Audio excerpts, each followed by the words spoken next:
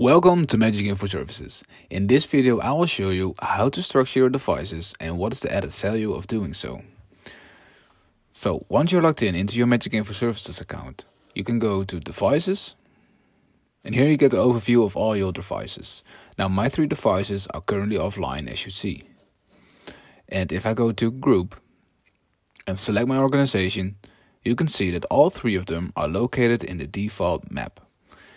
This means whenever I create a schedule, which I will show right now, and I want to publish my schedule, you can see I have to schedule it to a certain group.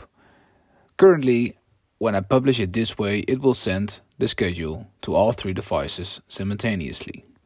Now, if you want content per device group specifically, you have to split the device groups as following. There are multiple options next to your organization name. If we click on this option button, here you get to see new group. If you click on that, here you are allowed to fill in a name of your new group, which for example can be demo. If I click on my organization again, you can see that I now have two groups. Now, if I want to have a group for every device, which allows me to send content to every device specifically, I will have to make three groups, which I currently have right now. So, since they are still in the default map, I will have to move those. And this can be done by selecting your device, click on Move, and select the map you want that device to be located in. And the same goes for the other one as well. So now in the organization overview, you can still see all your devices.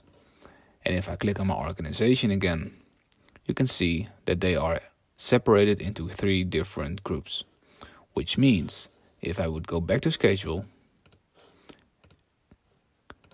and I would like to publish my content, you can now see that I can send content to every single device specifically because every single device has its own group right now. But if you still want to send the content to all devices, you can simply select all groups and it will send the content to all devices simultaneously. And this is how you can structure your devices and send content to every device specifically. Thanks for watching.